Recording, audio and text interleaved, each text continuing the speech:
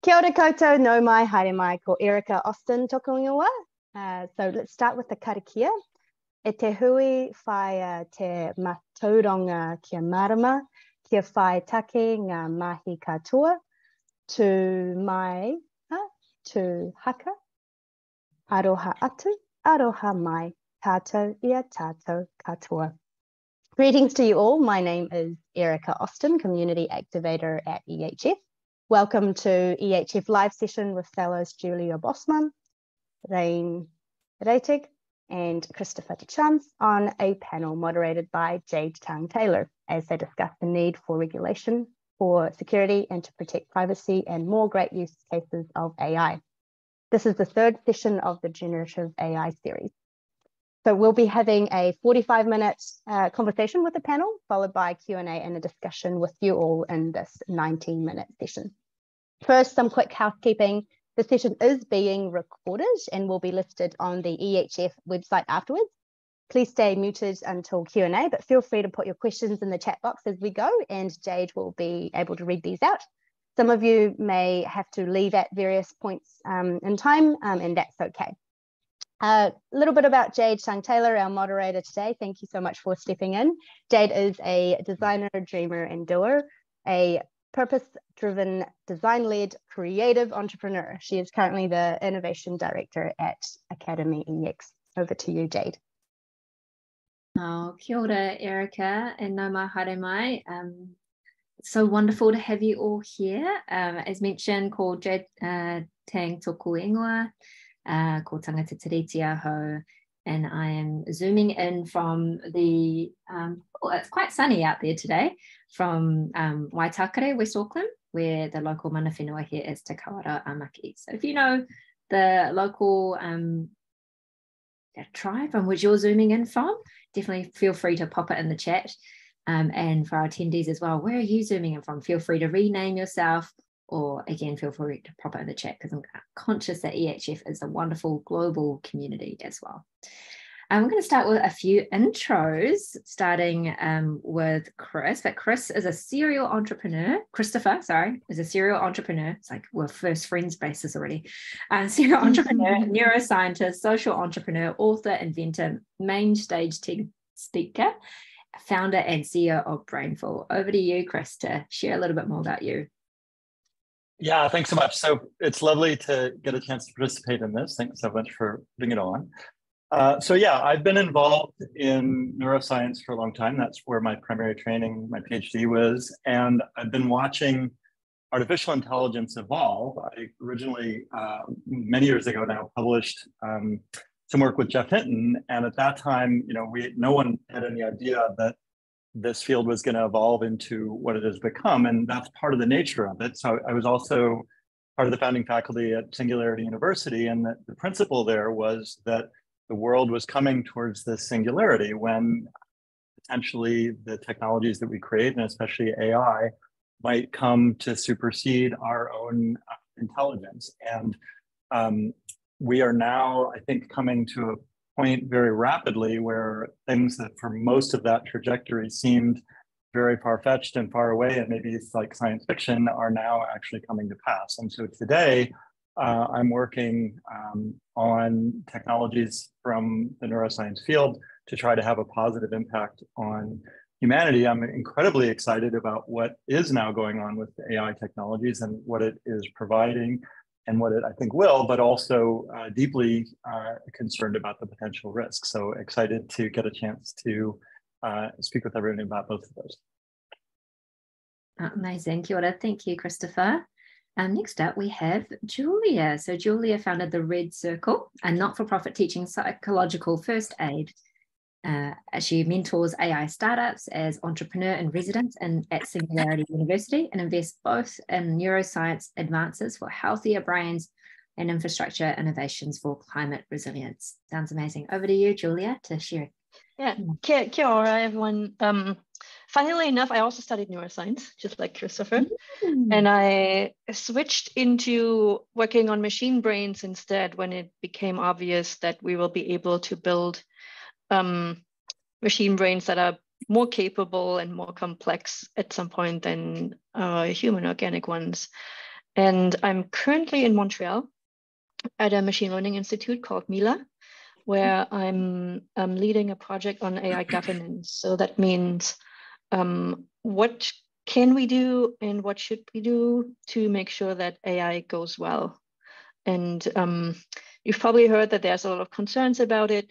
Uh, I tend to say we don't want to just worry about human extinction, but we want to instead think about how to create the best possible worlds and a, a great livable future for everyone, um, and how AI can contribute to that. So that's what I'm currently working on.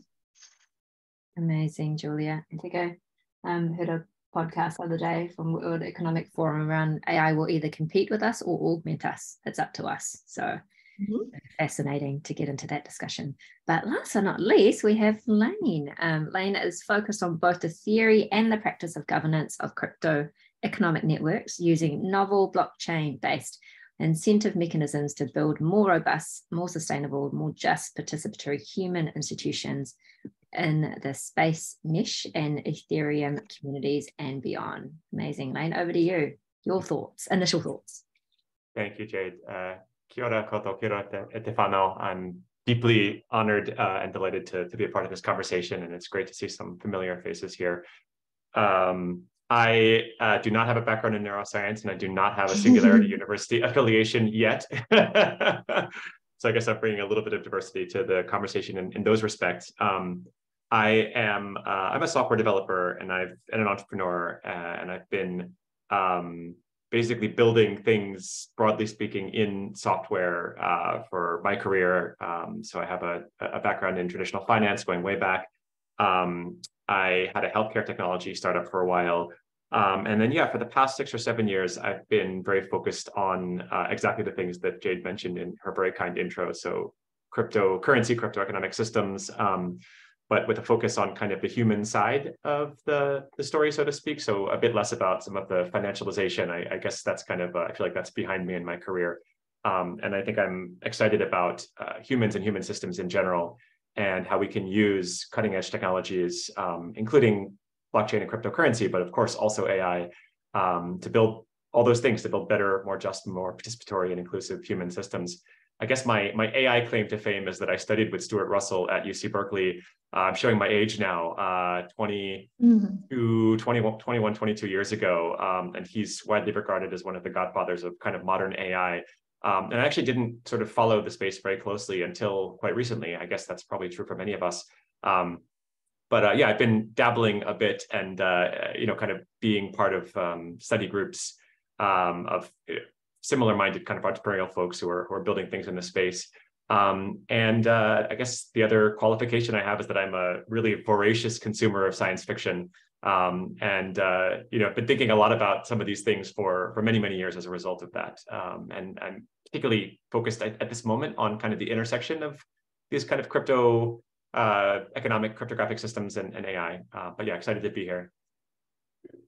Kia Thanks, Lane. Yeah, it's like sci-fi fiction and also Black Mirror Netflix series. Seems to when people talking about AI and the potential. But anyway, um, thank you. I you're speaking my language around the sustainable, just and participatory kind of um, a better future, better world. So um, thank you all for joining us. And yeah, for we're going to be speaking around ethics, security, and privacy in the AI world. And let's jump straight into the questions.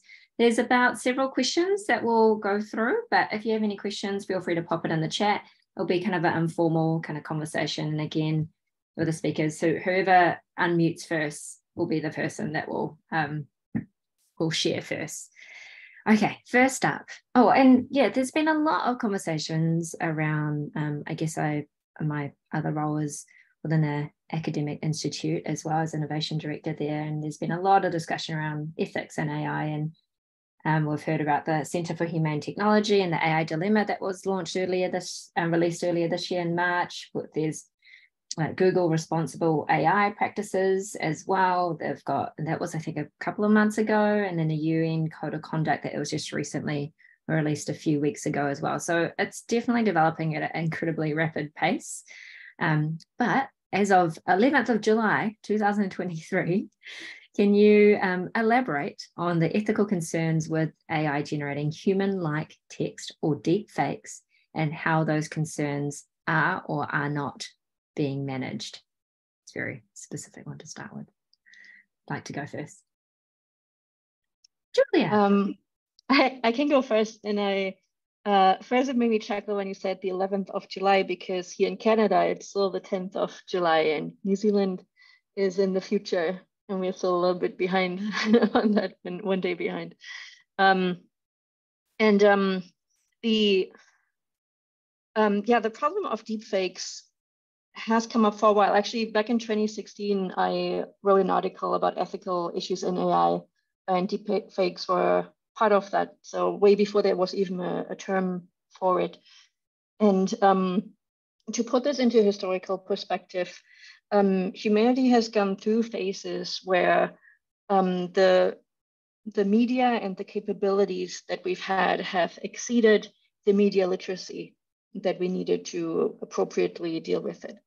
Um, for example, when mass printing was first invented, there was a, um, a, a, fake book, so to speak, which was called the Protocols of the Order of Zion, which um, which basically distributed um, like uh, malicious news about a Jewish conspiracy, which caused a lot of harm in Europe.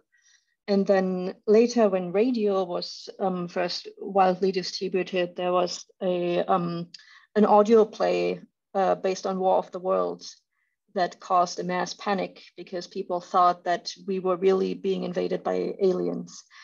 And these are examples for how, when there's a new technology for media, at first we don't have the mental concepts to tell what's real and what isn't. And we just take everything for real because that's just what we're used to. And over time, there will be a few a few snafus, so to speak, where um, where we have to get wise to it and understand, oh, things can be fake, and this is how we can tell, and this is what to look for, and this is how not to believe it and how to verify it. And nowadays, if somebody tells us something on radio and and makes it sound as if something's happening, we know that that might be fictional. And I think the same will be true for the kinds of media we can create with generative AI. Um, it is just a question of our media literacy catching up to that. And the issue with that is that our capabilities have been accelerating so much that our literacy needs to accelerate as well to keep up with the pace of that. Yeah, I love that. The media literacy has to catch up. Um, there was a, oh no, I'm going to pass it over to either Chris or Lane to respond and then I'll share something funny I watched over the weekend. Yeah, Julia, thank you. I, I think that's really helpful. And I think that's a really illustrative uh, historical example. You know, one thing I've noticed in my line of work is that um, a lot of people focused on tech these days don't, uh, let, us say they have a very short memory for history. And so I think it's actually enormously valuable to, to look back. And sometimes we have to look back a few hundred years uh, to find those examples that, that help us kind of figure out, like chart our course and figure out where we're going. Um, I just wanted to add one thing to what you said, which is um, that so in some respects, this phenomenon is new, right? So the kind of the, the, specific case of generative AI and some of the specific technologies that are emerging right now around uh, generative text, generative images, and, and, and videos, and kind of deepfakes in those directions. This is, of course, a pretty new thing, or, or rather, they've kind of achieved a critical point of um, fidelity recently, and will, of course, continue to get better. However, I, I, think it, you know, we've been in a cultural moment now for at least a few years uh, already, you know, due to slightly older technologies. So things like social media, or I think you could track track even further back to the rise of just blogging, you know, which which is already more than 20 years old. Um, you know, going back further than that, right? If you go back a generation, you'll find, and I think hopefully I'm making your case for you here, uh, you know, because as you're saying, we have these cultural moments when the technologies get ahead of our ability to kind of understand them. So I think a generation ago, um, this was not the case, right? So what we had was a uh, very limited set of channels and a limited set of gatekeepers. So, you know, where I grew up in the United States, these are things like NBC, ABC, CBS, New York Times, uh, CNN, you know, Fox, these sorts of things. And, and there's so few of them that, um, you know, they were kind of uh, anointed gatekeepers, so to speak. And, and, and broadly speaking, you know, we were all kind of on the same page about the state of the world. Um, and obviously that's broken down quite a bit and led to this kind of crisis of trust and crisis of coherence over the last, uh, you know, 10 to 15 years, again, due to the rise of things like social media. So Um, it's been a very painful transition where I think we're all very aware of some of the challenges we faced and, you know, whether this is, um, you know, election interference, things like this, or, or knowing, you know, whether the, the person or group of people you're speaking to over whatever social channel are fellow human beings and neighbors as they claim to be, or if they're actually like a, a troll farm somewhere halfway across the world. Um, but I think the good news, at least from where I sit, is that this transition, um, it's not complete, but it's very well underway. And I believe that as a society, we are really beginning to develop an immune system response to this. And, and I think that there's a lot less naivete than there was before. And, and I think that uh, any you know folks who have grown up um, exposed to these things over the past 10 years, let's say, uh, you know, we used to joke and say, oh, if it's on TV, it must be true. If it's on the internet, it must be true. Well, no one really believes that anymore. And so I think we have a healthy skepticism. And I think that this is what we need to develop the competence that Julia referred to. Yeah, you're making a good point, Lane. And it's kind of funny to me how a generation ago, um, when I was in school, I was told you can't trust anything on the internet. You cannot cite Wikipedia as a source um, because that could all be made up. And now the same people who used to warn us about not citing Wikipedia are the ones who have become less critical and share memes on Facebook that may be harmful and I, I have a lot of trust actually in, in the younger generations uh, to to have that immune system and to build up that immune system. And I think there's a kind of a rapid evolution of that immune system by people um, just engaging with with memes and information on the internet in a very fast paced way. It's a new form of collective intelligence, and it's exciting to see it emerge. And you know the, the solutions that emerged previously which as i said were things like big you know radio stations tv stations publishers et cetera it will look very different this time around. But um, this is one respect in which i'm pretty optimistic. I, I, think that we're intelligent enough as a community and as a society to, to find a way forward together and, and figure out how to come to agreement and consensus on the ground truth. Uh, consensus is something that we think about every day in the blockchain cryptocurrency space but i'll leave it there for now yeah, I feel like that's a whole nother webinar, Lane. Um, Christopher, any thoughts around, you know, what Julia and Lane has mentioned or just deepfakes in general? Yeah, well, so I'm going to speak a little bit more about the broader question of uh, ethics and the ethical considerations um, arising out of AI. Um, and I, I want to start actually by sharing a resource that uh, actually comes from one of our own at EHF, uh, Tristan Harris, who who I think has put together, along with uh, one of the, the, the best um, pieces on looking at this issue really thoughtfully. And so I'm going to paste that into the chat. And to anyone who's interested in this topic who hasn't yet seen this video, I'd really strongly recommend it. It's very thoughtful, very striking, and I'll give you the punchline, which it essentially leads with, um, which uh, suggests the potential magnitude of the ethical kinds of considerations we're talking about here, which, um, you know, there's the things that we can see clearly, like deep fakes. Um, there's also the, the longer term potential ethical implications that are much harder to predict. But uh, the way that it's, it's put in, in Tristan's um, presentation is that approximately 50% of AI researchers surveyed recently suggested that they believe there's a 10% or greater chance that this technology leads to the extinction of our species. And so that's a, obviously a pretty shocking uh, concept that half the people who are the engineers on this technology believe that it could wipe us all out. And that's getting more um, uh, widely known um, but but I think Tristan brings up the point. Imagine if you were getting on an airliner and 50% of the engineers who had devised that or created and maintained that airliner said there's a 10% chance you're not getting off. What would you do to prepare yourself? And so I think it's very important as a society, but also individually, that we really take seriously that this technology um, has risks far beyond what we can comprehend. Now, I'm not a, a AI naysayer. I also think that equivalently, um, there's potential that is far beyond uh, what we can imagine.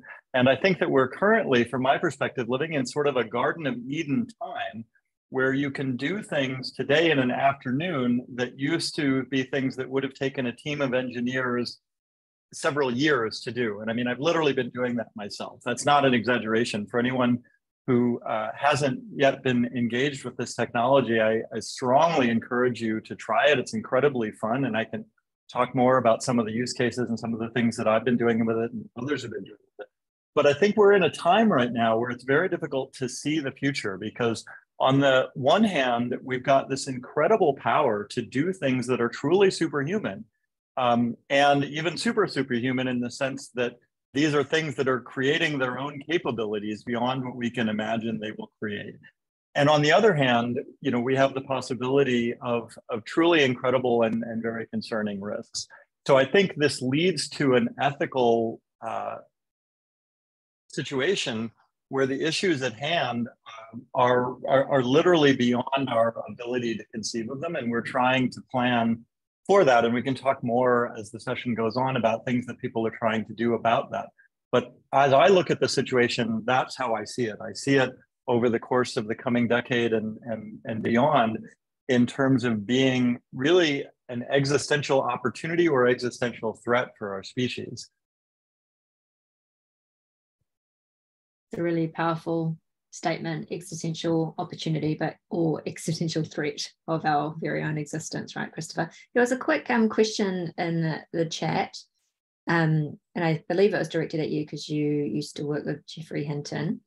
Why did he leave google? And i know there's mixed conversations around what this yeah what yeah so so i, I obviously cannot uh, can't speak for geoff um, but you know, he's he's both obviously an incredibly brilliant person. His group was, for anybody who's not aware, the really the pioneers of the transformer models who have led to the recent explosion in AI capability. And you know, he's been a pioneer and a leader in the field for a long time. And he did, uh, after having gone to Google to bring this technology to them, recently leave. And there's been a lot of talk about that.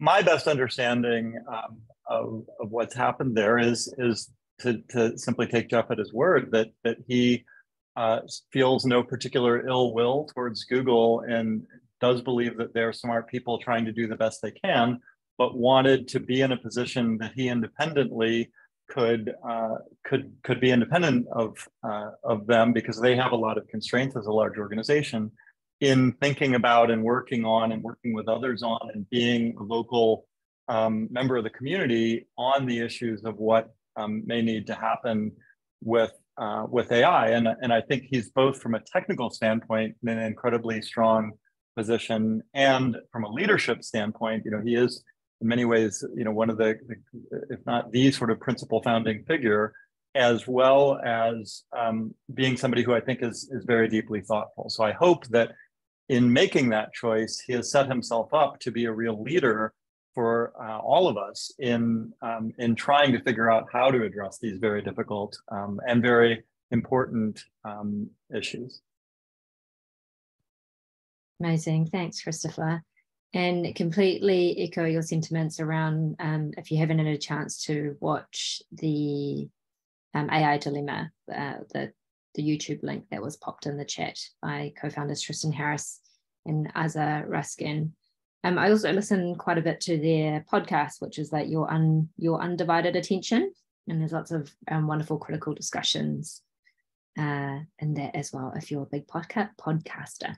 Um, okay, second question. So we talked a little bit about ethics, and I know that that will be interwoven throughout um, the discussion today.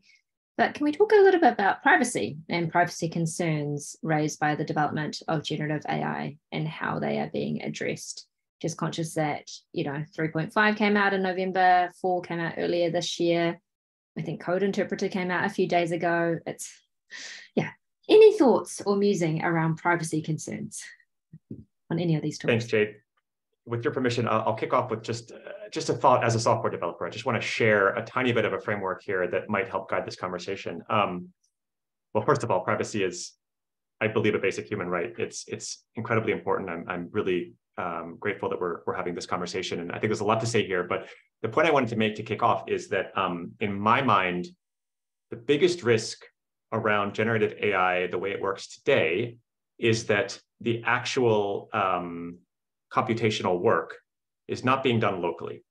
Okay. Uh, so I believe this is called inference in, in the context of AI. So the first of all, the, the model training, uh, of course, is done by very large, powerful clusters of computers and, and the big companies um, like OpenAI behind them, the Googles of the world, et cetera. Um, and then this, this model is produced. And, uh, and when you are, as a, as a user, as an everyday user, as a consumer, interacting with, you know, whether it's ChatGPT, um, whether it's uh, like a um, stable diffusion or, or one of these um, you know, kind of uh, image generating models, et cetera, um, what you're doing is you're basically interacting with a hosted application uh, that's closed source, it's running on someone else's computer. Um, and, and I think there are some inherent risks there. Now, this is not new in a sense, like, uh, you know, a lot of what we do and a lot of the kind of software applications we use and the, uh, the, the infrastructure of those applications are very similar, right? In the sense that, you know, when you, you know, when you chat with your friend on, you know, pick your favorite chat app, uh, with, with, almost no exceptions, it, it's it's all you know kind of flowing through uh, a, a third party server that's that's owned and operated by by a company with with very little transparency what's going on there. Um, but I do think what's new here is that uh, just that the nature of the data that we're sharing with these systems is particularly sensitive, and and I've noticed. Uh, the way that people communicate with these AI tools, uh, talking now, of course, about kind of things like like ChatGPT and kind of text-based GPT. Um, they they in some senses almost develop a relationship with them and i've noticed you know you can see this when people kind of start saying things like please and thank you um, and uh, you know kind of just treating the the tool like a person or anthropomorphizing it in a way which i think is actually a wonderful thing it, it, there's there's reasons there's psychological reasons this happens but i think it's easy to lose sight of the fact that that uh, that what you're talking to is is not only is it not a person uh, it's, it's basically a corporate bureaucracy really at the end of the day um, and so, uh, sorry, this is a very long-winded way of saying, uh, making the point I wanted to make, which is, um, I think one very powerful thing we can do to promote privacy here is to develop models that we can run locally. Um, in other words, when you talk to, say, Siri on your iPhone, um, in theory anyway, that the voice messages are not leaving the phone, or, and they shouldn't be leaving the phone. That processing should all be done locally. Uh, and it's even better if we have the code, right, if it's open source, so we can kind of verify this for ourselves. Um, there is work being done here. I'm aware of a few projects that are working on models that uh, fit on, on a small device like a phone or a desktop computer or a laptop computer in the sense that the processing can be done you know, pretty quickly uh, locally. So as a software developer, this is something I would really like to see uh, more resources invested in and, and, more awareness as well. Amazing, thanks, Lane. So, I, I say please and thank you. I was just like, so I've always been taught to use my manners. And so I just, anyway, yeah, sorry. Why not? you go. So I'd, I'd like to pick up on one of the, the, what I think is one of the deeper things that you said uh, there, Lane, which I think is a very one important, very important one to me as well, which is that privacy is a fundamental human right. And, and I think the reason that it's a fundamental human right um, is that without privacy, there's no freedom. And um, the problem is that I think, in my estimation, the, the looking back, um, what we will come to say is that privacy was a human right. Um, and that in the 20th century, that was a, a, nice right to have. But I think we are already crossing a threshold now where the very notion of privacy is ceasing to exist. And in the face of generative AI, um, I think there's a, a very real risk that privacy full stop essentially ceases to exist um, or ceases to exist in a recognizable form compared to what we think of it as today. So the, the immediate uh, example that you were mentioning and that I do every day is that I'm sharing my deepest thoughts with AI on a, on a minute by minute basis. My creative process is very much in a shared brain between this nervous system and whichever of the AI assistants I'm working with, we, we share um, intellectual capacity at this point. And so I think there's a, a, deep immediate privacy concern there, but, but I think there's a, a longer term and even really quite near term privacy concern that, that AI just simply breaks the internet for privacy. All of the algorithms, and Lane, you might be able to speak very uh, cogently to this issue, that exist today to try to maintain our privacy um, are, are brittle. And the idea that they will be able to face up in the um, face of what AI is able to do in terms of faking essentially everything and doing it at scale with all available information about every individual and you know, it, it, it's difficult for me to imagine um, from what I know, and, and again, Lane, I'd love to hear your comments, for how we don't end up in a scenario where uh, the very mechanisms that today allow privacy just simply cease to work. Um, because if an AI can fake literally everything about you in a way that is convincing to a human or a machine, uh, it's it's hard for me to see what the, the basis of privacy continues to be. And so I think that's a, a broader term concern. And just to, to close that out with what's happening already, I mean, I already see that, you know, the 50 times a day, or sometimes it's a lot more than that, that I get asked to authenticate to do anything you know the strings are getting longer and longer and it's like well you do this test and then this test and then tell me which of these are fire hydrants and then click on your other phone and then you know and and i just feel like well ais can do each and every one of those things and um, so i think that's a, a deeper uh, level of privacy risk um, that we're soon going to be facing and really already are those uh, those authentication procedures are going to get continue to get longer, Chris, as the AI gets smarter. It's actually a clever way of measuring it. Maybe you know that the longer it takes to prove you're a human, the smarter the AI has become. uh, yeah, let me let me defer to, to Julia before I respond. To right. Yeah, it's it's an arms race of sorts. Um, I just want to add something very practical to privacy concerns, and that is that your conversations that you have with ChatGPT, for instance, are not private. Not only um, may they be analyzed within the company, but um, I looked at the terms of OpenAI and they might also share it with third parties. And if you, finally enough, if you ask ChatGPT what the privacy practices are, it will hallucinate an answer for you that is way better than what reality actually is. And then you look into the actual terms and that's not at all what's the case. So in a way, the, the way ChatGPT has been trained is on like a, a more ethical answer than what uh, the actual terms are, which say that your conversation data can be shared with third parties. I was not aware of that, Julia. Thanks for sharing that. That's kind of terrifying.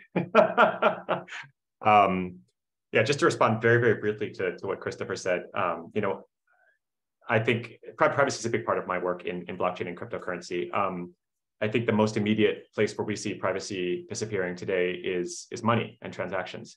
Um, and I mean, you don't have to look very far. You know, in most of the places where most of us live and spend most of our time, cash is is very rapidly dying. Uh, and it's convenient, but convenience comes at a cost. And I think people are not always aware what that cost is until it's too late sometimes. Um, I think, yeah, I think the, the ability to transact privately, like to have private financial transactions is also should be a, a fundamental human right. Um, and, uh, you know, we have tools we're developing zero knowledge proofs is the most obvious of these. Uh, there is very powerful cutting edge cryptography that I think can move the needle here, but always, always, always there's a trade off between um, the most obvious one. I mean, there's many trade offs, but the most obvious one is between usability and convenience on the one hand and privacy on the other. And most people, most of the time, will choose convenience at the cost of privacy.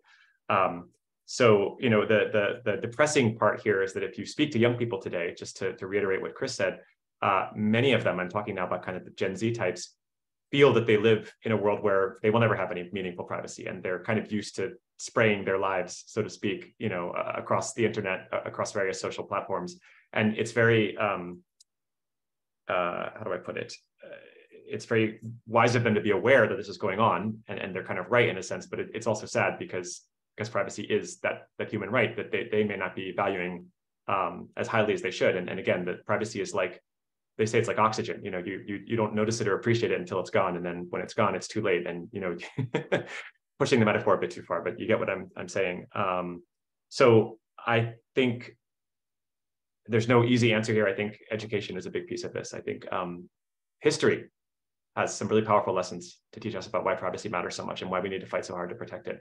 Um, so making people aware of some of the, the new risk profiles here in, in our brave AI future and um, yeah, more dialogue on this topic, I think is absolutely essential at this stage. Yeah, I completely hear you, especially around, um, I guess, the Gen Z or Gen Alphas that are coming through and literally live their lives online and don't ever really question um, their privacy or the data or what they're sharing and whether it be good or bad. I'm really glad that social media wasn't really around that much when I was a teen. So we'll just leave that there. Um, We'll just move into the third question. And I know that we're conscious that you're um, zooming in from Puerto Rico, New York City, Canada, and I think Portland as well. But this one's more specifically focused around Aotearoa, New Zealand. And our government here, what do you think they could do to promote AI innovation whilst ensuring privacy, security, and ethical use of AI technologies? Have any thoughts there? Because um, however I ask across the government, does they don't seem to have a very robust plan at this moment in time. Or maybe yeah, so I'm gonna I'm, I'm, gonna share a thought that's uh, perhaps a bit post-apocalyptic, but um, but uh, I'm gonna share it nonetheless. Um, so my own view is that AI is advancing at a rate that is uh, exponentially fast, and that it's just simply going to be impossible for regulatory institutions to have a meaningful impact on it. Um, for anyone who's not really thought very much about the way exponential growth works, I'll just illustrate that quickly. If you have an exponent that's doubling uh, every year, which is, I'd say, a reasonable estimate for what's happening with AI lately, then you can go for nine years and in the 10th year, you get a greater change than in the entire previous nine combined. And in the 11th year, you get more change than in the prior 10. And I think that's the kind of technology that we're talking about here. That's hard for humans to intuit, um, but that's what we're seeing happening now. So it's advancing at a rate that I don't think regulatory institutions are frankly going to have any chance of, of trying to control. I think they should absolutely be doing it. Um, and, and I think it's an incredibly important topic. But I have very little faith that regulatory structures are going to be able, by their nature, to, to try uh, to succeed in having very much impact. And so, uh, what do I think uh, New Zealand can do?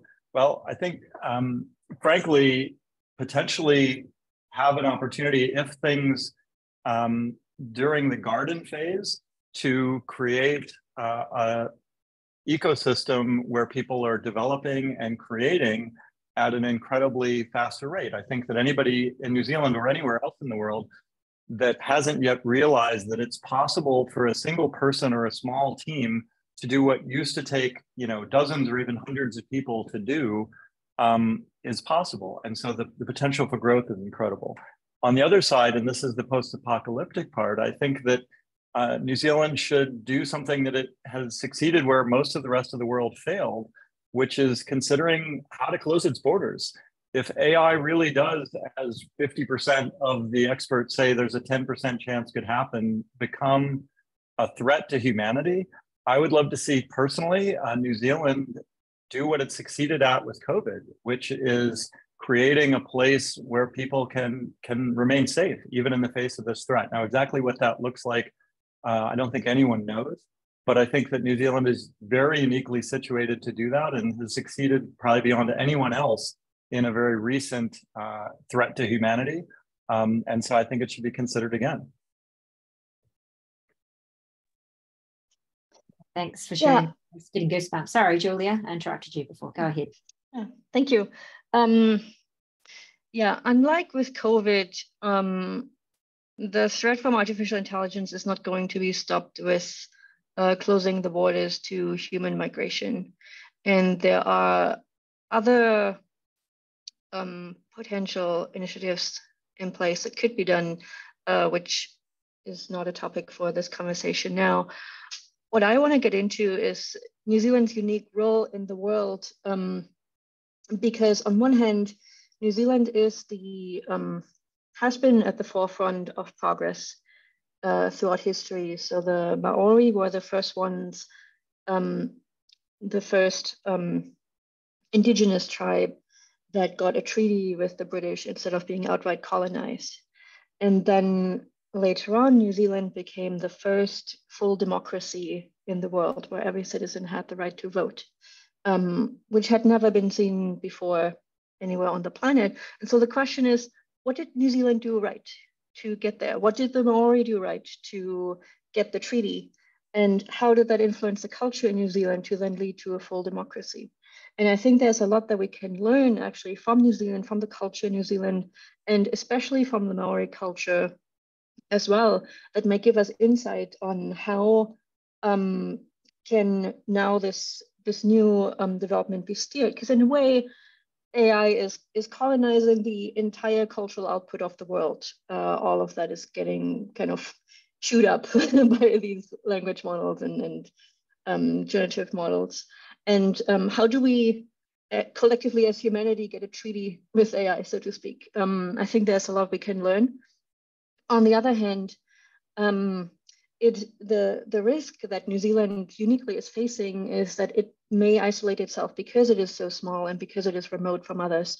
For example, Google is not selling um, hardware products like their phones in New Zealand, so you cannot buy a Google phone anywhere in New Zealand. And the apparent reason for that is that they don't want to deal with specific regulation that is in place in New Zealand. And so because it's a market of about 5 million people, large companies can just say, we're just not going to deal with that. We're just going to serve all the other billions of people in the world and those 5 million, we're not going to worry about. We're not going to go into that market if it's too heavily regulated.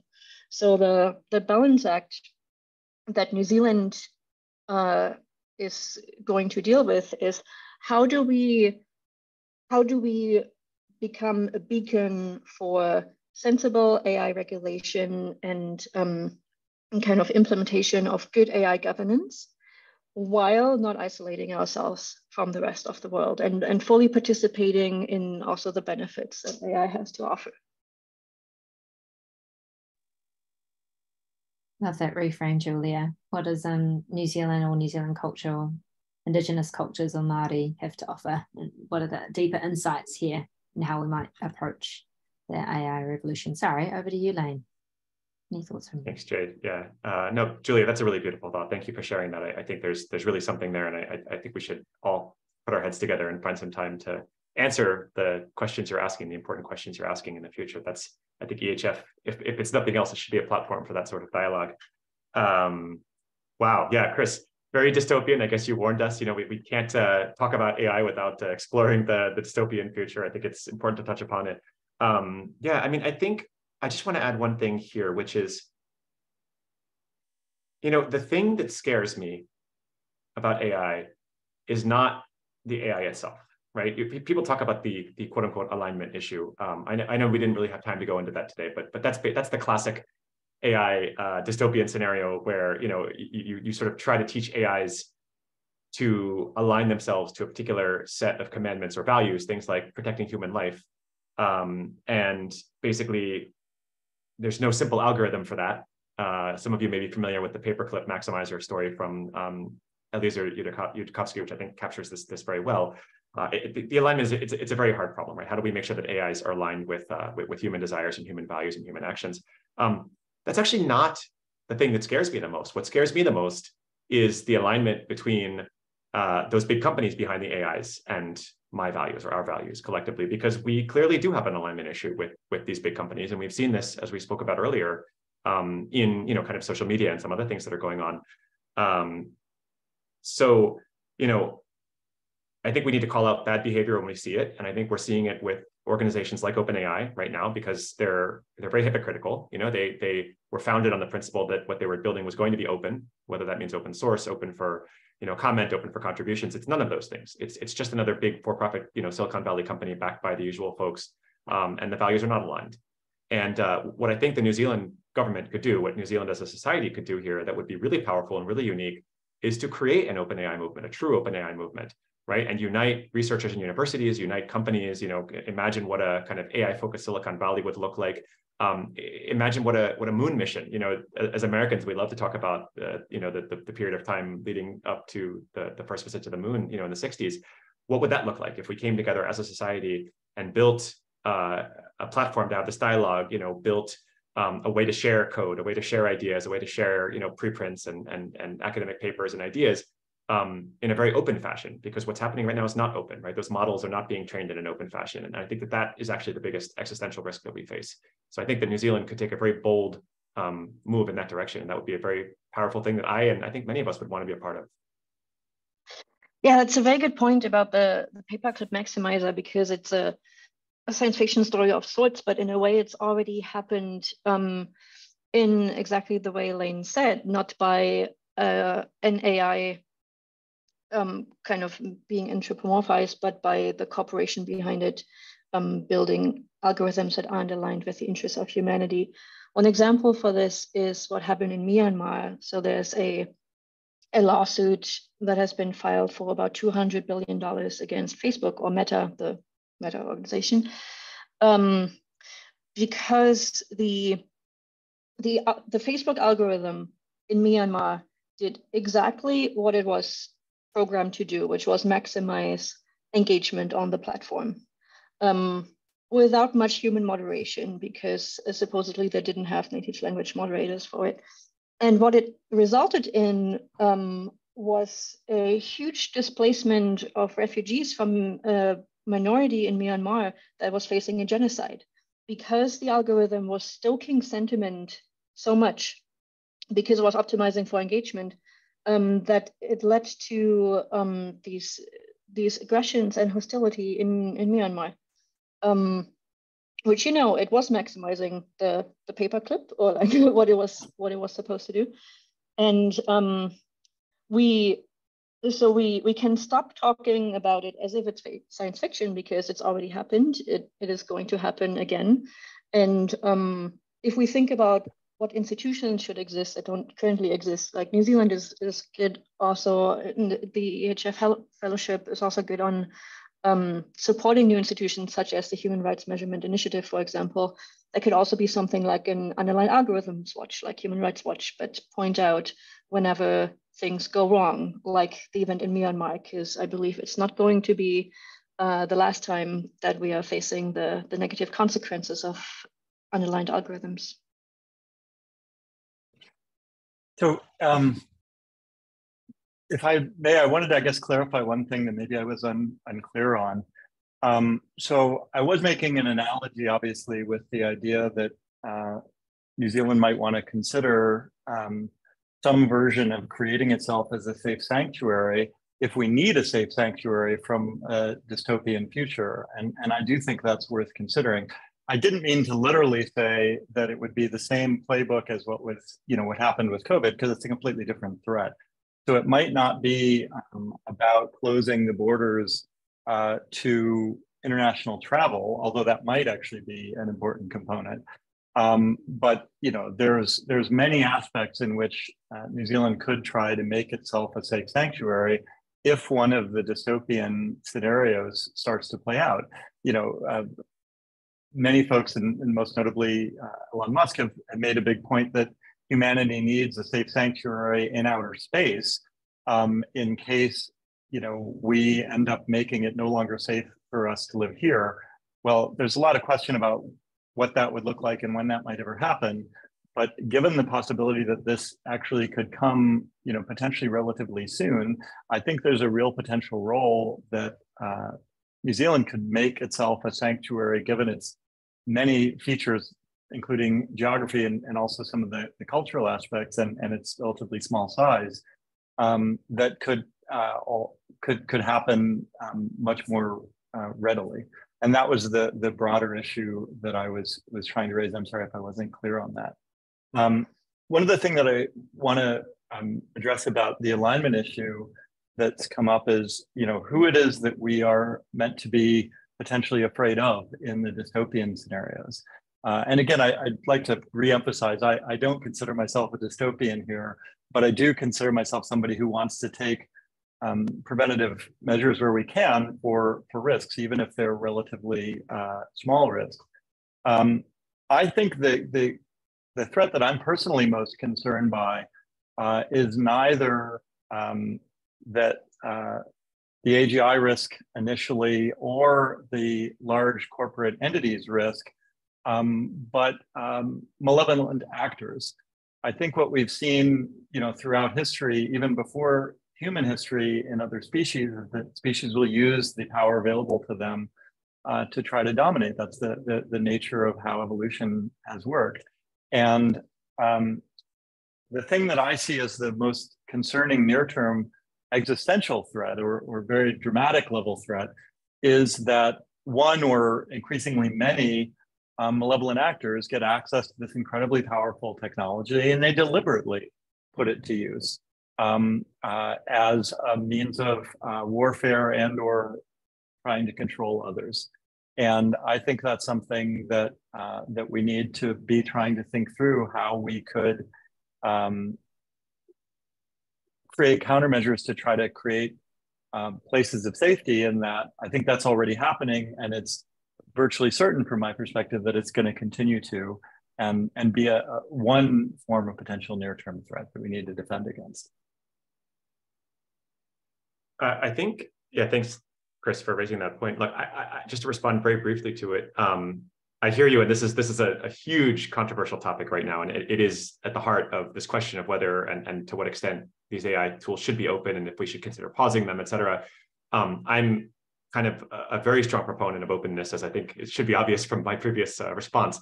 And I think you know what I would say in response to, to, to your uh, your thoughts is that um, you know we want to put these tools in the hands of as many people as possible because most people are good people. And I think the right response, you know, how do I put it? Like eh, the alternative is that it remains only in the hands of those tiny number of companies and maybe some governments. And I think that that would be catastrophic for the world. I, I think that it's paternalistic, and I think that that there's a lot of bad that could come from that. Um, I, I, think the kind of uh, toothpaste is out of the tube, so to speak, on the technology and the ideas here. And I think we should teach it to as many people as possible, make those tools available. And that is the best thing we can do to counter that threat. So I, am going to take the agnostic side, but for the sake of discussion, um, I don't know whether uh, we're better off uh, open sourcing AI um, for the reasons that you just shared or not. But I think it's worth pointing out um, for folks that may not be familiar with this, there's a very strong counter argument that that's the last thing that we want to do and that essentially a good analogy I come from the biotechnology space is that the last thing you would want to do with dangerous biotechnology, at least that's not what we have done, and for, for I think good reasons, is make it possible for anyone in their garage to create um, bioactive weapons or, or viruses or other pathogens that could destroy the species.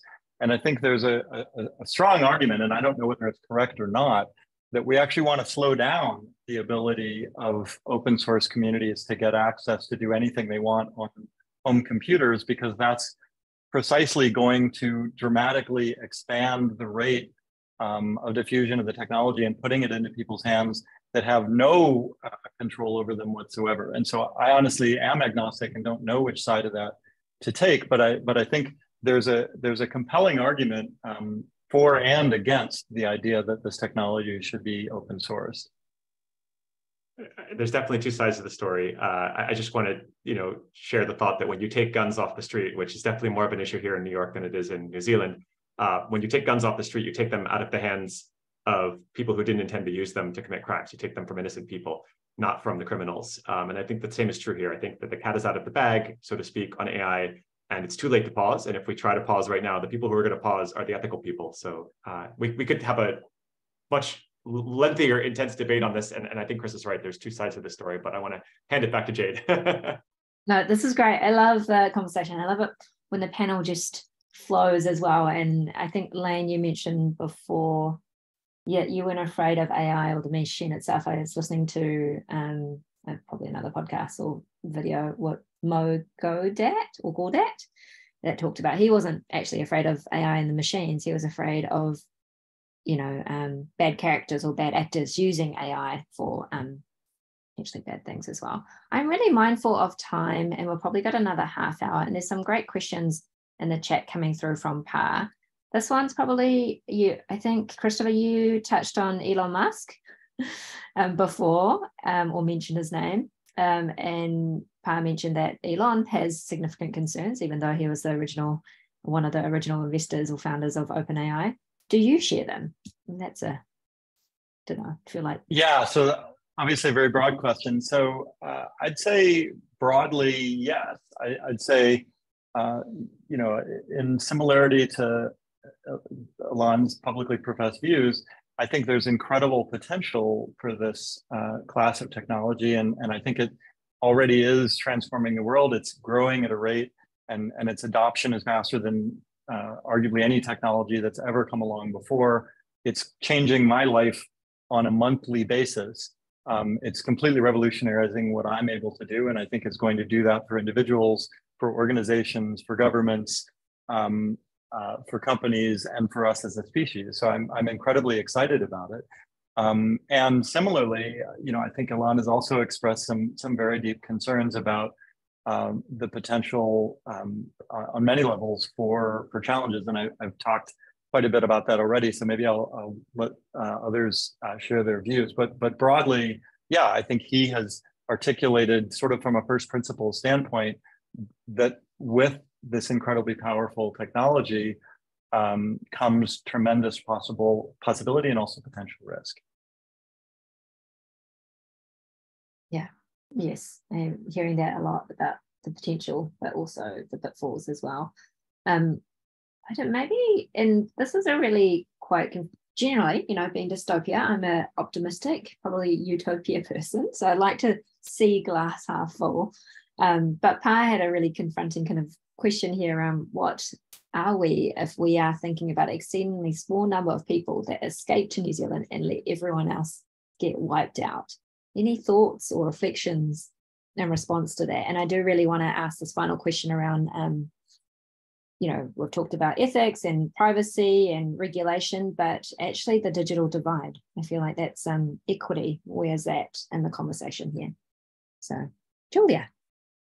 Yeah, I can answer to that. So, um, uh, first of all, why, while I think that all concerns should be heard, including the potentially catastrophic ones, um, we need to make sure that we don't let that um, dominate everything that's happening in AI governance.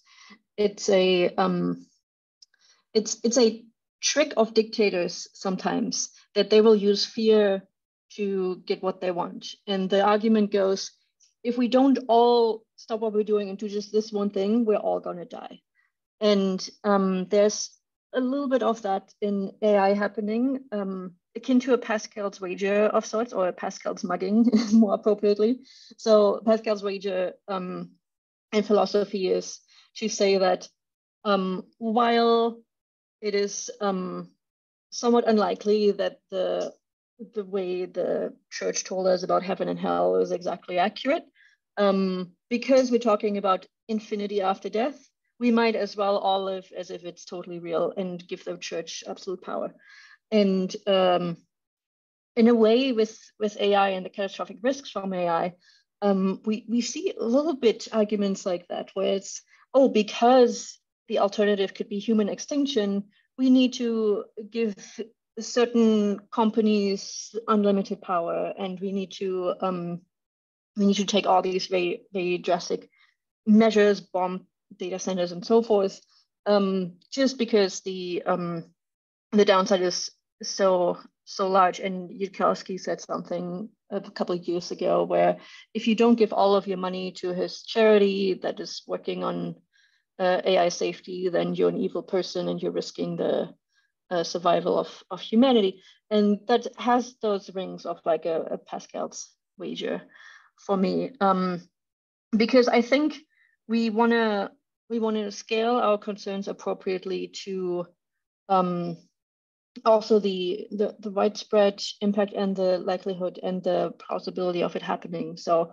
um, you know, if if we drive a car, like yes, we want to make sure we're not going to die. So it's good to have seatbelts and airbags and so forth in place. But we also want to pay attention to the road and make sure that we also don't like that we get to our destination and that we um, generally um, pay attention to our surroundings. And in AI, there's um, lots of things to pay attention to as well. And with that question of um, like closing the borders, I think that is a, a very small edge case, which it may make sense for a government to think about as a kind of um, back off, uh, back shelf backup plan. But the majority of the attention needs to be spent on how do we make the future livable for everyone? How do we make sure that AI is fair and equitable and that it creates a good world and a good future for all of us. So that's why I think the these scenarios of um, oh let's leave everyone behind um, also like elon is wanting to go to space um, don't seem that feasible for me because i'm i feel um, loyal to the rest of humanity in a way i don't want to live in a world where we uh, just kind of leave the majority behind actually about a great segue, not leaving the majority of the world behind around the equity conversation. Um, and this became really apparent. I was speaking to um, my CEO a few weeks ago and jumping from a call from with her, and she's usually a tech optimist too, um, Frances Valentine, and she's also part of the wider EHF community but um, she's also raising some concerns or caution around a lot of these uh, AI technologies. And then jumping into a call from that to a DECA call, which is the Digital Equity Coalition of Aotearoa, where people are discussing how to even get access to the internet, let alone their own devices, let alone any of these tools. So um, I feel like equity is a big gap here uh, that we haven't necessarily addressed in any of these AI conversations. But question is as AI technologies become more embedded in everyday lives, how should we, um, how should concerns about the digital divide and inclusivity be addressed? Would really love your thoughts or musings or reflections on that. Is that the digital divide between humans and AIs that you're talking about? Yeah, I was um, interpreting it from a digital divide as a people don't even have access to some of these digital devices so how do we how do they even engage in some of these tools whereas there's some people that are obviously using these tools on a daily basis christopher you mentioned that your life is changing monthly feel and then there's people that are developing them at all hours of the night too so um but you can speak to it from your perspective around you know augmenting or competing with ai up to you would you like to respond? I, can, I can jump in. If, okay, Lane, you go. Chris, Chris has more to add. Um, yeah, I mean, it's good that we are talking about this. It's, you know, we saved the, the best and hardest questions for last. um, I think the first point I want to make is, uh, I've said this a few times today, um, this technology is not going away. And it's going to hit us like a freight train. As Chris said, it is exponential. Um, and I, I think the right thing to do here is not to pause or slow down. I've heard said that a couple times today as well, but but also to recognize that it is going to, you know, increase certain inequities. Um, those inequities are not new, obviously, right? They've been with us for some time, and the digital divide is very real. Um, Jade, as you said, um, I I don't have the answers. I don't claim to have the answers, um, but just a couple thoughts here. I think uh, that it's going to be a driver of enormous economic growth, right? Various AI technologies. And um, I think that the ethical thing to do would be for the people who are on the receiving end of, of those profits and those revenues to allocate a portion of them to addressing some of these inequities. And in my mind, the best thing we, the best tool we have is education, education, education, education, right? We need to, um, again, not be shy about these technologies. You know, if, if you actually look at the way that the education system is responding, to AI and ChatGPT and things like this. It's it's fascinating and very enlightening, right? Because you have some schools and some districts and some teachers who have banned the use of it in the classroom and said, oh, it's gonna, you know, all the students are going to be using it to to to to, to write the essays and and you know they're not. Uh, uh, this is this is unethical of them and um, it's gonna it's gonna screw up our pedagogy and, and screw up our, our curriculum, et cetera. And then you also on, on the flip side of that, you have some very enlightened uh, educators who are doing some very brilliant creative things um, like having like like encouraging the students to use these tools and teaching them how to use them and then teaching them how to engage with them. And so the assignment, rather than being, you know, write a book review of such and such a book, it's it's ask ChatGPT to write a book review about this book and then point out three things that got wrong in that review or something like that, a, more kind of uh, reflective um, uh, assignment. Um, and so uh, I, I, I, think we should really encourage its use in education and, and we should um, we should have an ethical code where people who are beneficiaries of this technology uh, uh, are contributing to the funds necessary to promote these education programs. And you know, we talked about the, the government earlier. I think there is a role for the government to play here, both in um, you know, promoting the openness of this technology as we spoke about, um, and promoting its use in education, obviously, uh, and hopefully also um, giving us the tools we need to, to address the inequities. Yeah, that's a very good point, Lane, um, because, you know, education used to have that mandate to prepare students to be productive citizens in the real world. And now with ChatGPT and other AI technologies being available to everyone, what do we actually want to teach? This is something that professors and teachers need to think about. Um, because if they ban the use of GPT, they may not teach um, the quite quite the right use of, of tools in, in the real world. And I, I love that example you brought up with what did ChatGPT actually get wrong about this book summary, because that's what actually will build the media literacy and the technology literacy that we need for the next generation to um, to really have what it takes to live in this new world. So, Lane, I love that you brought up the issue of education. Um, as you know, I'm currently working on a technology day to day that's direct focus is trying to use AI as a tool to increase literacy in humanity, um, hopefully in all of humanity or, or as many as, as possible, and um, and that could use this technology as an augmentation um, of the human mind and as a way to be able to take knowledge and essentially act as a preprocessor to be able to get it into the minds and brains of, of people more effectively than has ever been possible. Uh, you brought up the, the um, invention of the printing press.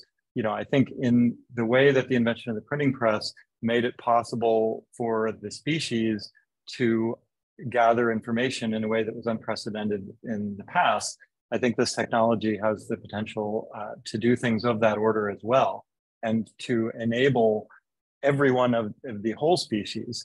And so there's the question of whether there's a differential between access to different people, which is a very important question. There's also the question of the rising tide that can float all boats. And I think that's going to be happening um, as well. And so I'm mostly personally focusing on that rising tide aspect of it um, I do think specifically on the issue of inequity, um, there's again some deep concerns as well. And, and what I'm personally concerned about there, well, many things, but but one that comes to mind is that um, this is going to be yet another tool and an incredibly powerful one that is going to uh, take power differentials that are already in place and magnify them. And I'll, I'll give a very simple example that we're all going to be living with. So right now, you know, if you call any publicly facing customer service department, whether it's your bank or your government or you know most anyone, uh, you know, you end up getting put into a long phone tree and a whole set of processes that really has very little concern for your time um, and is mostly about saving pennies of whatever the organization that is providing that.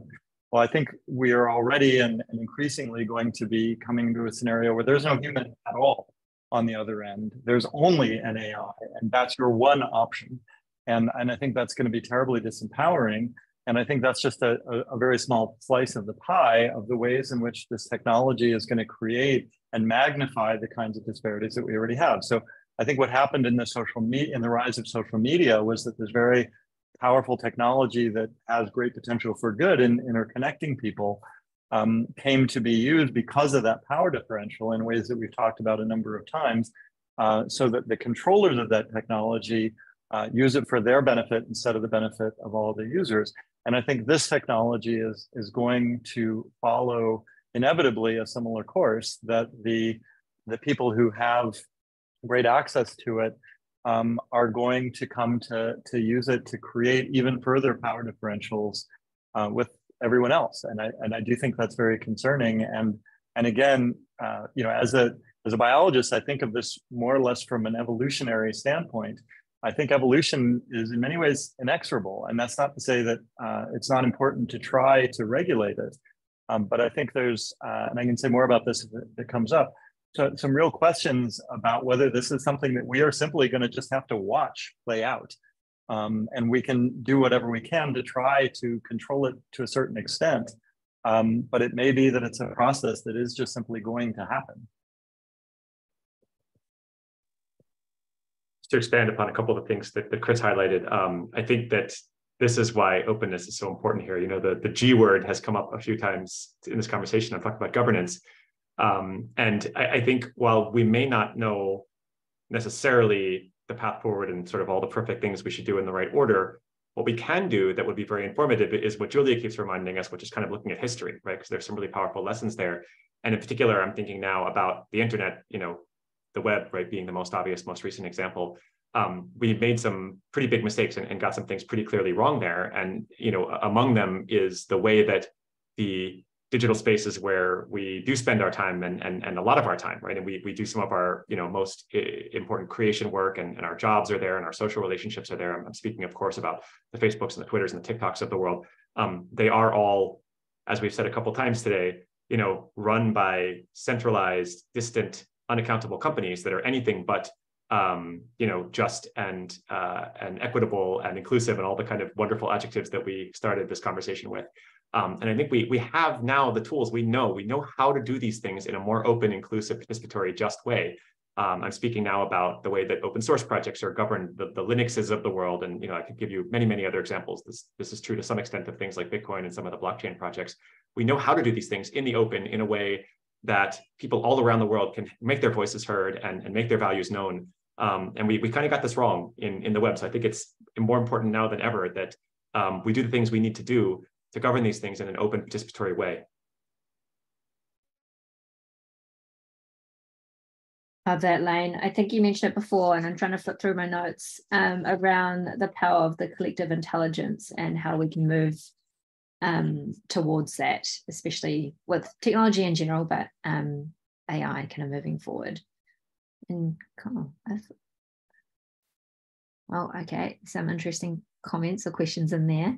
I'm going to hand it back to Erica very shortly as well. But um, Julie, did you have anything to add to that particular conversation around equity and digital divide and inclusivity?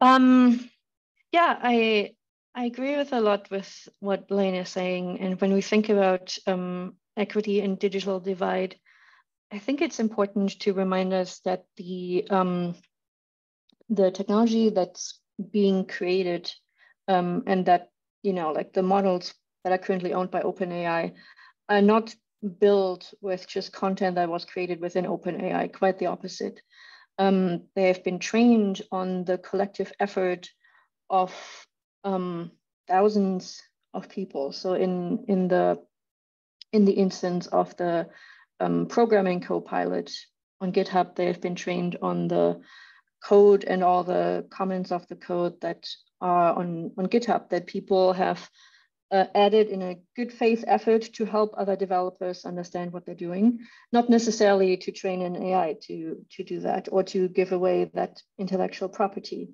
Um, same with, with the art generation large models or the large language models. They've been like the, the art models have been trained on, on human artists that um, put their work out there to benefit other human users and viewers, not necessarily to um, contribute to a commercial model so that somebody else can then profit off the creative work that they've done. Um, and the same is true with, with language models that have also been trained on um, a massive amount of, of collective output of, of humanity um, without notifying the creators, obviously, that this has been happening, uh, without compensating anyone for their intellectual output. Um, and, and also a large amount of the work has not just happened in Silicon Valley, but there have been very low, low wage efforts in, in Africa and other low wage countries, uh, low wage places to, to manually label and tag the input and such. So um, the, yeah, when, when we think about, oh, this, this model is now, now owned by a corporation, um, it's just because we didn't have any laws or regulation in place that would go, hang on a second, like where's that all that data coming from? you know, is it actually fair to just take that without giving back? Um, and uh, this is a conversation that um, needs to happen globally within um, within governments, but also kind of societally to to be aware that we're not just being bestowed this new technology from Silicon Valley, but it's actually something that is built on the collective cultural output of all of humanity. Yeah. Oh, yeah. Sorry. Go, go on, Lane. Yeah, super briefly. I, I love that you made this point, Julie. I just wanted to point out that you know what you're saying is is 100% true, but there's a potentially bright side here. If we get things right, if we build these things in a in a humane and just way, then there's a potential for all the people who did contribute to that data pool to receive a dividend for it. Now, I'm not suggesting that this is a trivial problem to solve. Um, there's a lot of kind of operational logistical questions here, but there are um, some amazing people out there, like Jaron Lanier comes to mind. He's one of the most brilliant thinkers that I'm aware of. He's, he's written a couple of books on this topic, data is labor, data as labor, and, and how to kind of fairly compensate people for their contributions. Um, yeah. You could provide a form of UBI actually to people on this basis if you if we could figure out how to do this. Right. Yeah, that's that's a good point, and um, it's also bringing up the question of um, uh, diversity of thought in the cultural output because right now um, the internet has a bias. Like the simplest experiment you can do is if you just Google family, like most of the families will be white and Western and affluent that will come up in stock pictures. Or if you Google just a picture of a hand, it's very likely to be a white hand. And um, if we look at the um, the user base of Wikipedia and Reddit and other places that have contributed a lot to the training of these models, um, they are predominantly male and Western. Um, and so we also want to make sure that with all the, the training that's provided, that there is um, some way of, of balancing what, what the input and the output is actually going to be. And that is a tough question to answer because uh, a lot of the people um, who are creating the content have done so because they are in a position where they have the free time to put on the internet or they even have the access to internet to, to do so. Um, so how do we provide a, a, balanced perspective that, that represents all the interests of humanity? And I think in a way, a solution to this does not come from just engineering um, right now, you know, a lot of engineers think about AI alignment and um, how to get AI right. And so naturally, they will think about engineering approaches of how do we test transparency and robustness. And that is all very important. But these particular issues that, that we've just been talking about are um, issues that the humanities have thought about to bring back through history. There's um, lots of instances where uh, minorities have struggled for progress and achieved it. There's been a civil rights movement and a human rights movement. So we have Anne-Marie Brooks in, in here, who um, is a leader of a um, institution and NGO on human rights. And um, I think these problems will need to be solved by bringing in people from the humanities, from human rights and civil rights and, and progress movements to understand how does this actually happen. And in a way, this may sound this this may sound like the most alarmist that I'm going to get on this panel, um, is that it may be our last chance to get things right, because once AI systems are in place and firmly established, they may be going in those routes for the next hundreds of years, and it will be very difficult to reverse course on things that have been put in place. So um, something I care about this year is to um, contribute what I can to make sure that we get things right from the start, because this is all very path dependent, um, and to to make sure that um, that this transition from the pre-AI world to the post-AI world goes well.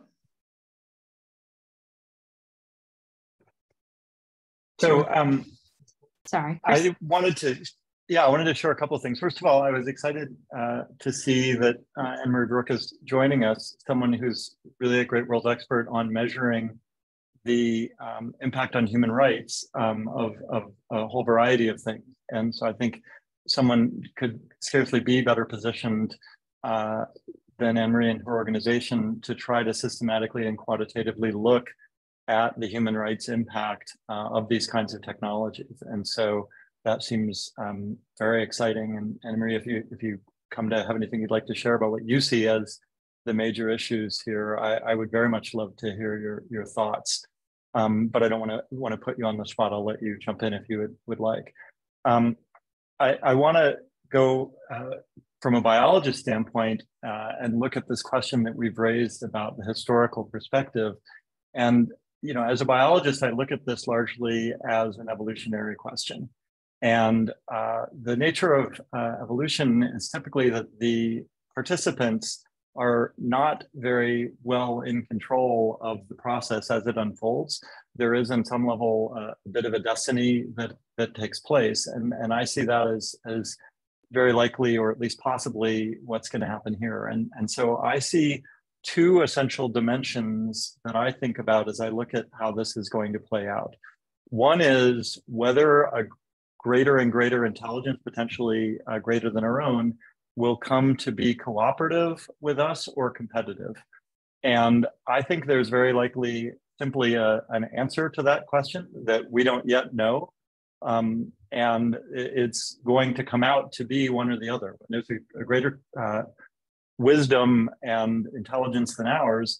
Does it find and continue to find that it, um, in the beneficent sense, wants to be cooperative? And one hopes that that is the outcome that it realizes that it you know we we the, the long arm uh, of justice is uh, in fact upheld and and that it wants to be cooperative with us and that that's just what happens whatever we do along the way and whatever it takes to get there alternatively does it turn out that the answer is simply that it's competitive and that like in many other evolutionary processes um, when a species gains dominance uh, you know, as we do with, uh, you know, poultry and um, the the uh, cockroaches around our own home, uh, it has very little interest in our needs, um, and and it is competitive. And and the other dimension that I think is very interesting to think about is whether it will come to be an interactive scenario or an independent scenario.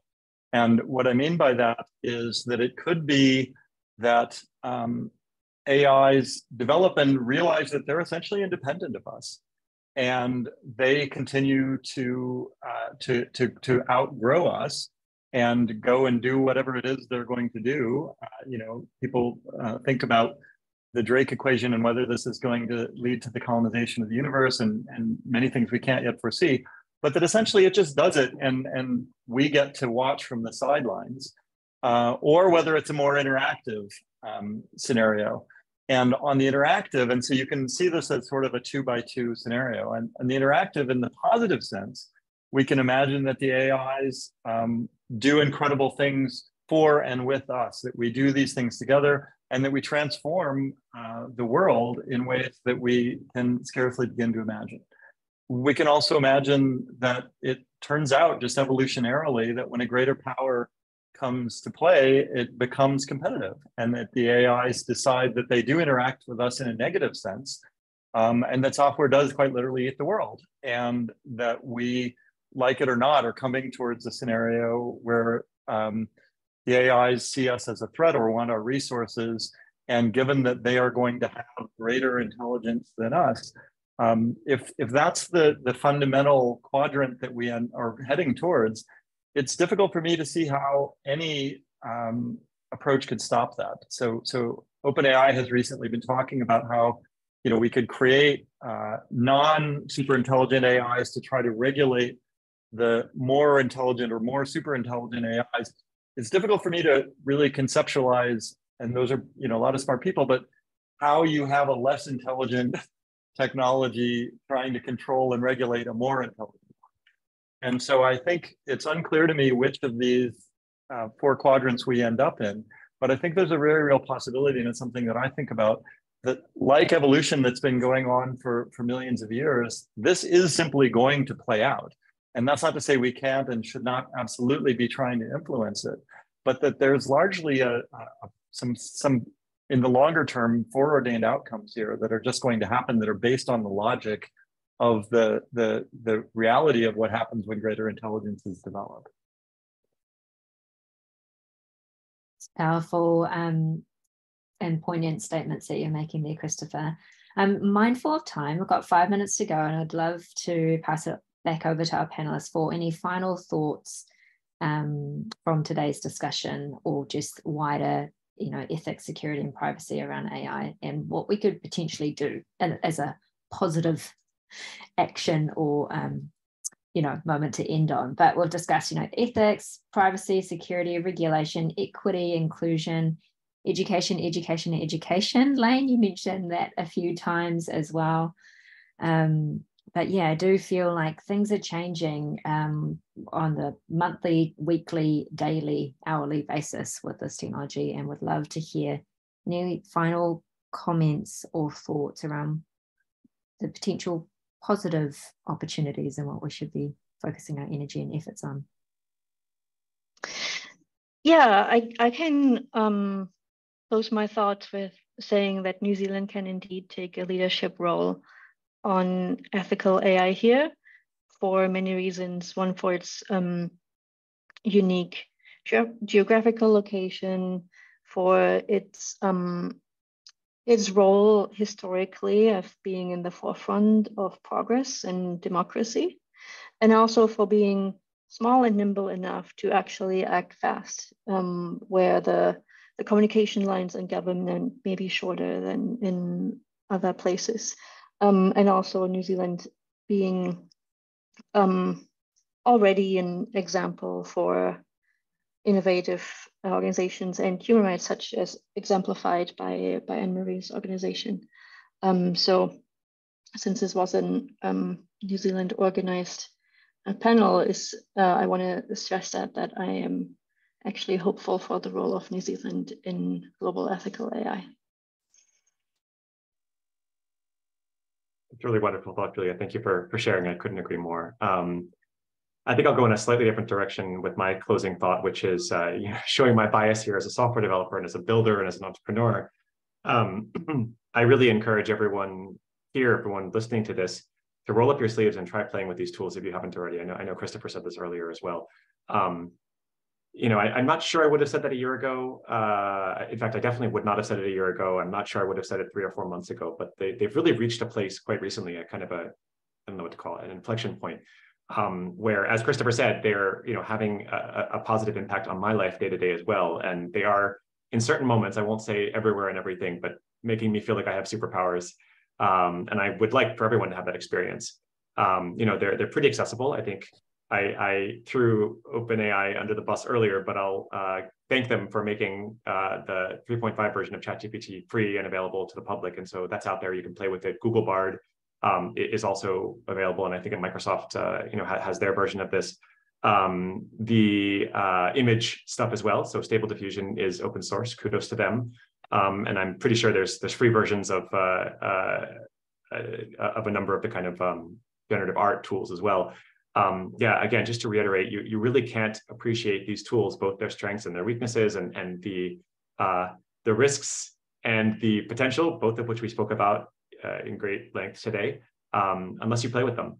And uh, I, I, found, um, you know, a few conversations with folks who had not had the opportunity to do that. Uh, they changed their tune once they had had a chance to play with them. Um, and there's you know good resources out there, and there's learning groups. I, am a part of a couple of these, so I you know encourage folks to to reach out if if they uh, you know are feeling stuck or, or need some pointers or resources. Yeah. So uh, thanks very much, and thanks again for creating this conversation. I'd like to really follow on that by uh, suggesting that anyone who hasn't try to figure out what these tools can do for you personally. They're just simply life changing. And um, they have been for everyone that I know who has uh, given them a meaningful try. And I'll give you a couple of examples of how you can get started and some things that I think haven't gotten as much press coverage, um, but that I think people can try in their day to day life. And to the issue about access and um, uh, the digital divide, I think these are quite available to almost anyone who can even just walk to a library and, and, and sit down at a in a terminal for a few minutes. Um, one of the more breathtaking things that I've discovered is that a conversation with the generative AI is in many ways a conversation with the collective wisdom of our entire species. And that's just unthinkable in prior times. And so I've just asked this thing again and again and again to be my mentor. And it's an incredible mentor. And so people have used it in very narrow ways. You know, can you solve this very prob- very narrow problem for me? And you know, a lot of the articles in the newspaper are like, well, it, it didn't succeed with whatever that thing was. Well, my view is at this point, my default is if it hasn't done what you asked it, it's on you. That you haven't figured out how to ask it to correctly yet. Um, but on the mentorship point, I, I really encourage everyone to try asking AI to literally be your mentor and take a challenging mentorship question that you would like to go to the greatest mentor you can imagine in your field, name that person and ask the AI what that person would counsel you on in uh, on the particular question that you have. And I've done that a number of times on a whole bunch of different questions with a whole bunch of different inspirational figures and gotten incredibly practical advice that frankly I think was often better. And, and I think I, have been fortunate enough that I've had some truly world-class mentors that the AI was often able, I think, to uh, succeed in even beyond what the, the world's greatest human mentors are capable of. And that is now available to everyone. Um, and so I'll I'll just end there. I think it's it's incredible what it has to offer for all of us if we choose to use it. I I would like to temper that um, because while I agree it's it's very interesting to get all these text generations, we do need to remind ourselves that we are dealing with language models, which are a you know a, a very fancy autocomplete. Um, and if we talk with the models in a certain way where we wanted to give a certain answer, we can typically get that answer. And we can typically get, um, you know, tell us to do A if we want to go in that direction or to B if we want to go into that direction. And it, um, right now, we would not assume that it has the same sort of sentience and internal compass as a human teacher or, or human might do who might actually sometimes surprise us with the answer and, and disagree with us and such because it is just um, trying to emulate what it's like to talk to these, which is still which can still be very useful, but we do want to remind ourselves that that's what it is. Thank so you. as as you brought that up, I'm just going to say my reactions over and over again have been in the opposite direction. They've been over and over again that when I've asked it to do things, the way that it has surprised me when asked correctly was that it has dramatically exceeded my expectations relative to what I think literally any living human could do. Mm. And, and that's been the experience that I've had. Maybe you're incredibly good at prompts, Christopher. anyway, um, it actually reminds me, I was speaking at a panel discussion at the University of Auckland Engineering School alongside a chat GPT powered AI bot. And one of the questions, and it's the first time I've spoken alongside a bot, um, one of the questions that came from the audience is what are the skills that you need to thrive in the future of work with these rapidly changing technologies? And um, I believe it probably fell on deaf ears because there's a whole bunch of engineers in the room, but I feel the skills that we need are those that be deeply human skills. So learning how to love, grieve, empathize, um, and really, yeah, I don't, at this moment in time, I don't believe the bots can teach you how to do that. But anyway, thank you so much. Thank you so much, our panelists, and for your insightful perspectives and comments our attendees for your wonderful questions, and Erica as well for being our wonderful tech host. I'm going to pass it back over to you uh, to close us with a karakia. Apologies. Kia Jade. Yeah, yeah I just wanted Jade to... as well. Oh, thank you, Jade. Yes. Thank you, um, Jade. Yeah, thank you to our panelists, Julia, Lane, and Christopher, for taking the time today. Um, definitely have a few um, points in my notebook for me to ponder and action on in the space of generative AI. Um, and so just um, a reminder that you will find the recording on the EHF um, website shortly, and there will be other EHF live sessions with our amazing fellows coming up. So please keep an eye out for that. Um, I will close with a karakia. Tuia i runga, tuia i raro, tuia i roto, tuia i waho, tuia i te here tangata. Ka rongo te pō, ka rongo te ao, ti hei mauri ora. Ngā mihi nui, ka kite anō. Kia ora. Kia kite. Kia ora. Kia ora.